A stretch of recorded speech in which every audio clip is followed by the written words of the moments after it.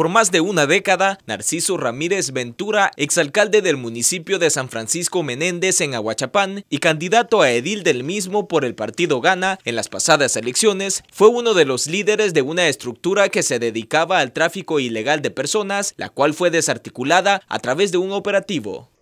Una estructura conformada por 35 imputados por los delitos de tráfico ilegal de personas y agrupaciones ilícitas, según Fiscalía, la estructura operaba a escala regional, cobrando a sus víctimas entre 9 mil y 12 mil dólares por viajes que se realizaban a través de puntos ciegos en el referido municipio y en la zona de la frontera Las Chinamas han utilizado diversas rutas ilegales para introducir personas de diferentes nacionalidades, salvadoreñas, hondureñas y nicaragüenses, a territorio estadounidense.